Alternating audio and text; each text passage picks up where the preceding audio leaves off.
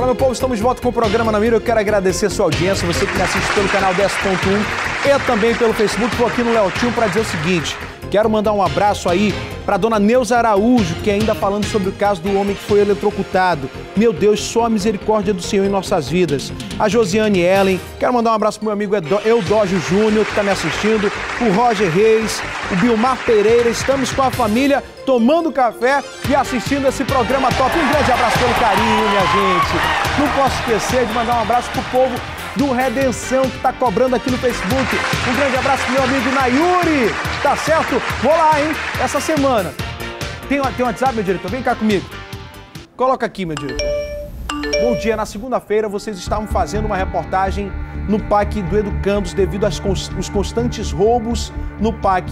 Na quinta-feira levaram os fios do ar-condicionado do, do Banco Bradesco, segunda-feira do ar-condicionado da fotocopiadora. Hoje levaram os fios de mais um ar-condicionado. Uma vergonha. E tudo que o secretário da Sejusc falar é que o PAC não vai fechar, mas não resolve nada. Minha gente, olha só, enviando as fotos aí, tá certo? Olha as condições de trabalho de quem está né, ali no Pacto Educandos. Minha gente, deixa eu dizer uma coisa para você.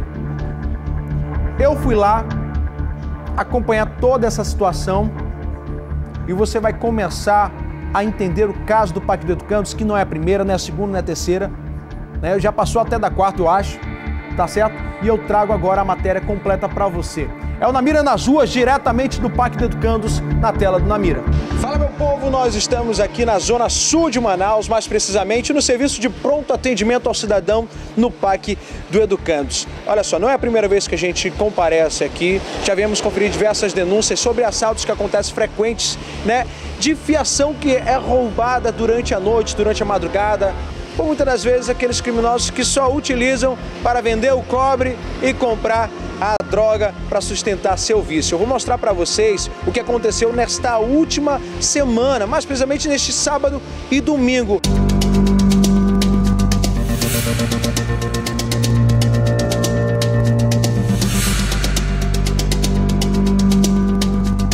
Já podemos observar que algumas coisas já foram retiradas aqui. Né? O ar-condicionado, que é aquele split, sempre fica com a fiação para fora mas a gestão aqui do Parque de Educandos resolveu colocar toda a fiação e toda a aparelhagem do ar-condicionado para dentro do parque para que justamente evitassem de ser furtados novamente. Olha só, aqui era onde ficava o suporte né, que dava para os ar-condicionados. Hoje já não existe, já estão lá para dentro. Agora eu quero te mostrar o que aconteceu nesta última semana. Esse daqui, ó, foi entre a semana passada. Os camaradas entraram por aqui, utilizam dessas grades para subirem, entrar e roubar a fiação de cobre. Mas sabe por que isso? Porque o valor do cobre aumentou. E aí os camaradas fazem questão de assaltar, de roubar, principalmente a fiação, para sustentar o vício. Você pode não estar tá vendo, mas olha lá dentro por onde ele sai, Edler. Tenta mostrar lá dentro, ó. Essa parte aqui é a área do banheiro. Nossa equipe de reportagem não foi autorizada a entrar para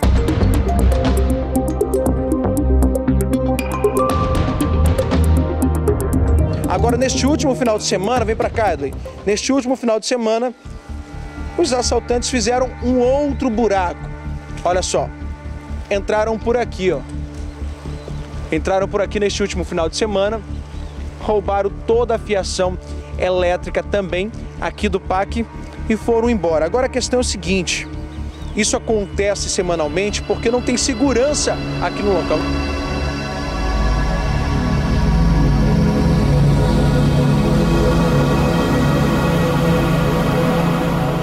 Eu conversei com o gestor aqui do PAC, que não foi autorizado a falar conosco né, em gravação, mas que disse para mim que esse problema está com os dias contados. Né? O governo do estado já se posicionou sobre essa questão, segundo ele, e que em breve haverá segurança aqui no PAC do Educandos. Os serviços começam 8 horas da manhã. Inclusive, o gestor conversou com a gente e disse que a população entra às 7 porque ele tem esse cuidado para que as pessoas não sejam assaltadas aqui na frente para receber o atendimento. Agora fica aquela questão: é, como solucionar um problema como esse? como solucionar um problema de segurança para a instituição. Isso é uma coisa que muitos têm que responder, mas poucos se posicionam. Eu vou conversar com o tenente da segunda SICOM, que vai explicar o que a Polícia Militar tem feito para tentar evitar essas situações. Vem com a gente. Tenente, a gente sabe que não é a primeira vez que acontece aqui no PAC, mas o que a Polícia Militar tem feito para tentar também ajudar ao cidadão, porque evitar a entrada de criminosos e ajudar o cidadão que precisa desse serviço aqui diariamente. No caso, a Polícia Militar sempre está diuturnamente aqui, é, fazendo contato com os gestores, com os cidadãos aqui. É, diuturnamente também nós estamos é, efetuando barreira aqui mesmo na frente do PAC para evitar, principalmente na parte da noite, que é onde normalmente ocorre, que é quando o PAC não está em funcionamento. É, o patrulhamento também continua sempre 24 horas por dia. Porém, é, nós não temos acesso ao interior do, do PAC, então isso acaba restringindo um pouco a nossa atuação. Então, o que a gente pede para o gestor do, do PAC é que, se possível, fosse é, disponibilizado um vigia, assim, para, tentar é, agilizar o nosso trabalho, para que nós pudéssemos entrar no PAC logo, logo, em loco da ação do, dos infratores. Obrigado aí, tenente. Então é isso, agora fica a pergunta. Quem que pode ajudar aos cidadãos que utilizam os serviços aqui de pronto atendimento ao cidadão no bairro de Educandos? Como é que fica essa situação? A gente espera que possa melhorar e que o movimento possa aumentar novamente, como sempre foi aqui no Pacto Educandos.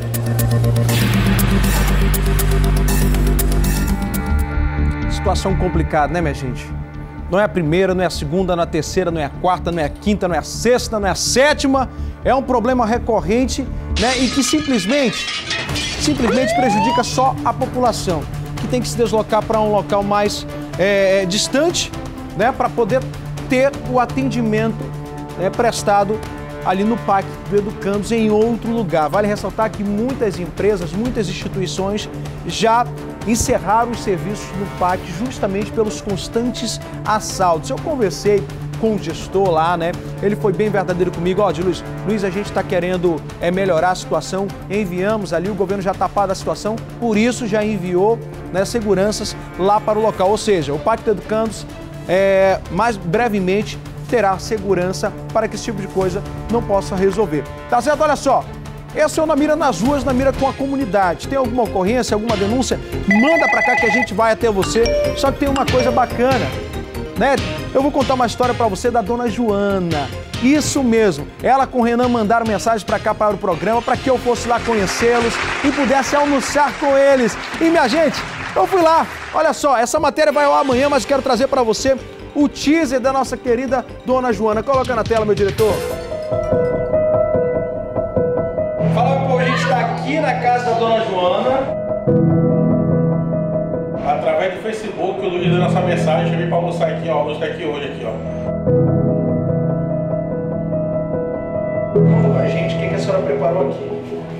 Ah, eu preparei um peito de frango, verdura, frutinho, feijãozinho preto, purê, uma farofa, arroz e tranquilo. Não faça nada de errado. E ande pela sombra. Porque você pode ser o próximo. Vai entrar na mira. Dá tchau, tchau, gente! Entrou na minha!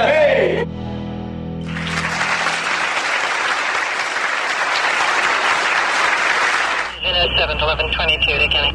Eighty three hundred.